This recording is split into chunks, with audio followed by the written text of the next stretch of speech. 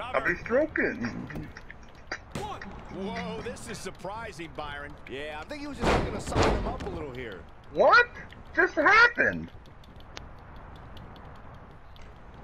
Oh boy. Ooh, God damn. Irish whip. Woo! Ah, I can't do with this stomping shit. Interesting decision here, Corey. I kind of like it. He clearly wants Did to you inflict even some more punishment. Oh.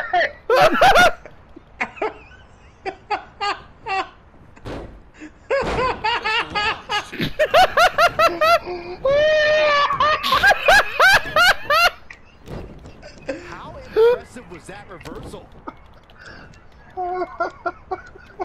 I don't know what's going on in that ring. right now. Whoa! Whoa! I don't